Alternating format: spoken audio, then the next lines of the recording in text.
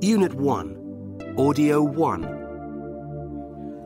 Which company do you work for? It's called Besam. B E S A M. You probably don't know it.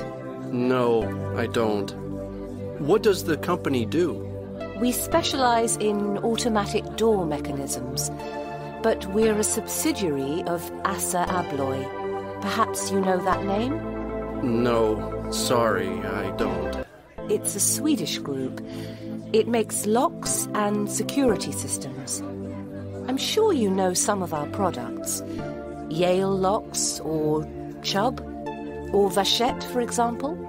No, I'm afraid I don't.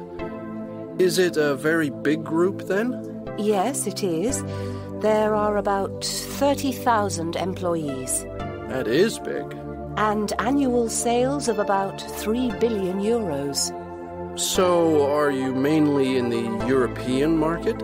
No, we operate in 40 different countries worldwide. There are 150 different companies in the Assa Abloy group. Who are your main competitors then?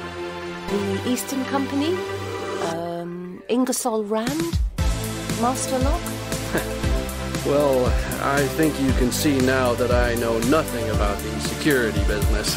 So, who do you work for? Microsoft. And what does your company do? We make. That's a joke, right?